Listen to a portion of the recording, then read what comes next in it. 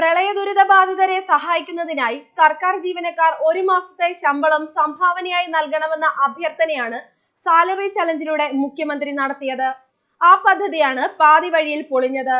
സർക്കാർ രണ്ടാമതിറക്കിയ സർക്കുലറിലും ഒരു മാസത്തെ ശമ്പളം എന്ന നിബന്ധന നിലനിർത്തിയിരുന്നു. ഇത് നൽകാത്തവർക്ക് ശമ്പളം സ്പാർക്ക് വഴി കൊടുക്കേണ്ടെന്ന വ്യവസ്ഥ ഉൾപ്പെടുത്തി. നിയന്ത്രണങ്ങൾക്കിടയിലും ശമ്പളവിൽ നൽകാതിരുന്ന ഓഫീസുകളിൽ നിന്ന് പന്ത്രണ്ടായിരം പേർ സാലറി ചലഞ്ചിൽ തുടരാൻ കഴിയില്ലെന്ന് അറിയിച്ച് പിന്മാറി. സ്ഥലം മാറ്റുമെന്ന് ഭീഷണിപ്പെടുത്തി സർക്കാർ ജീവനക്കാരിൽ രണ്ട് ലക്ഷത്തി എഴുപത്തി ഏഴായിരത്തി മുന്നൂറ്റി മുപ്പത്തെട്ട് പേരെ സാലറി ചലഞ്ചിൽ പങ്കാളികളാക്കിയപ്പോൾ ഇടതു സംഘടനയിൽപ്പെട്ട എയ്ഡഡ് സ്കൂളിലെ അധ്യാപകരുൾപ്പെടെ തൊണ്ണൂറ് ശതമാനം ആളുകളും പങ്കെടുത്തില്ല. ഒറ്റക്കെട്ടായി രംഗത്ത് വന്ന സമൂഹത്തെ ഭിന്നിപ്പിക്കുന്ന നിലപാടാണ് സാലറി ചലഞ്ചിലൂടെ സർക്കാർ നടപ്പിലാക്കിയതെന്ന് എൻ ജി ഒ സംഘ് സംസ്ഥാന general secretary S K Jayakumar. ചലഞ്ചിൽ പങ്കെടുത്ത ജീവനക്കാർക്ക് തുടരാൻ കഴിയാത്ത സാഹചര്യം ഉണ്ടെങ്കിൽ തുടരാൻ കഴിയില്ല എന്ന് വ്യക്തമാക്കി അവർ അതത് ഡി ഡി ഒമാർക്ക് രജിസ്റ്റേർഡ് പോസ്റ്റ് വഴി അപേക്ഷ നൽകണം. നിരസിച്ചാൽ അത് എൻ ജി ഒ സംഖ്യനെ രേഖാമൂലം അറിയിച്ചാൽ അവർക്ക് സാലറി ചലഞ്ചിൽ നിന്ന് പിന്മാറാനുള്ള നിയമസഹായം സൗജന്യമായി ഉറപ്പാക്കുമെന്നും അദ്ദേഹം പറഞ്ഞു. ആകെ സർക്കാർ ജീവനക്കാരിൽ അൻപത്തിയേഴ് പോയിന്റ് മൂന്ന് മൂന്ന് ശതമാനം മാത്രമാണ് ഇതിൽ പങ്കെടുത്തതെന്നും ഇതുവഴി നാനൂറ്റി എൺപത്തെട്ട് പോയിന്റ് ആറ് കോടി രൂപ മാത്രമാണ് പിരിഞ്ഞു കിട്ടിയതെന്നും ധനമന്ത്രി ഡോക്ടർ തോമസ് ഐസക് നിയമസഭയിൽ സമ്മതിച്ചു.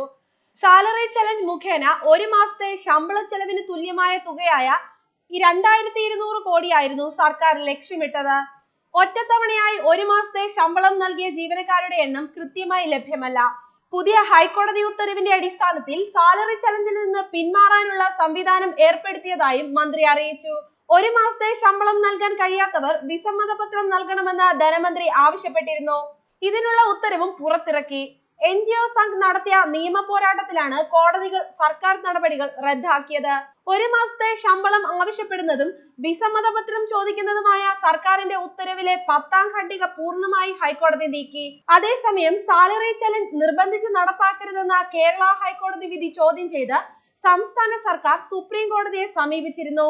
മുഖ്യമന്ത്രിയുടെ ദുരിതാശ്വാസ നിധിയിലേക്ക് ജീവനക്കാരുടെ ഒരു മാസത്തെ ശമ്പളം നൽകുന്ന സാലറി ചലഞ്ചിന്റെ ഭാഗമാകാൻ താല്പര്യമില്ലാത്തവരിൽ നിന്ന് വിസമ്മതപത്രം വാങ്ങേണ്ടതില്ലെന്ന് കേരള ഹൈക്കോടതി ഉത്തരവിട്ടിരുന്നു.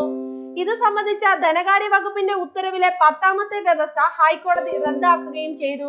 ഇത് ചോദ്യം ചെയ്താണ് സംസ്ഥാന സർക്കാർ സുപ്രീം കോടതിയെ സമീപിച്ചത്. ഹൈക്കോടതി ഉത്തരവ് സാലറി ചലഞ്ച് പദ്ധതിക്ക് തടസ്സമാകുമെന്ന് സുപ്രീം കോടതിയിൽ നൽകിയ ഹർജിയിൽ സർക്കാർ ചൂണ്ടിക്കാട്ടുന്നു. ഇത് സാലറി ചലഞ്ചിൽ നിന്ന് ജീവനക്കാരെ പിന്മാറാൻ പ്രേരിപ്പിക്കും. ജീവനക്കാരെ നിർബന്ധിച്ചല്ല സർക്കാർ സാലറി ചലഞ്ച് നടപ്പാക്കുന്നത്. ഇതുവരെ ഒരു ലക്ഷത്തി എൺപത്തി ഒന്നായിരം ജീവനക്കാരാണ് സാലറി ചലഞ്ചിന്റെ ഭാഗമായിട്ടുള്ളത്. ഈ ഘട്ടത്തിലെ ഹൈക്കോടതി ഇടപെടൽ ദുരന്ത നിവാരണ പ്രവർത്തനങ്ങളെ പ്രതികൂലമായി ബാധിക്കുമെന്നും സംസ്ഥാന സർക്കാർ വാദിച്ചിരുന്നു. ന്യൂസ് ഡെസ്ക് മലയാളി വാർത്ത.